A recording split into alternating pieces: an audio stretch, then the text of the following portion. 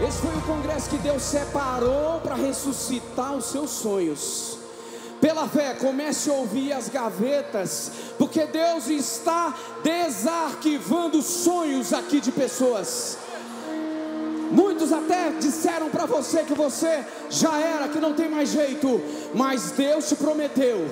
Assim como ele fez com Abraão e disse: Abraão, sai da tua tenda, olha para o céu, veja as estrelas, você pode contá-las? E Abraão disse: Não, Assim eu farei a tua descendência, Abraão. E nós somos descendência de Abraão. E nós vivemos pela fé, rompendo em fé, vivendo. Tem gente aqui que não tem dinheiro para comprar uma água mineral, irmã Carla, mas está aqui para receber de Deus. E receba a promessa de Deus na tua vida. Pega o seu celular, por favor. Ligue a lanterna.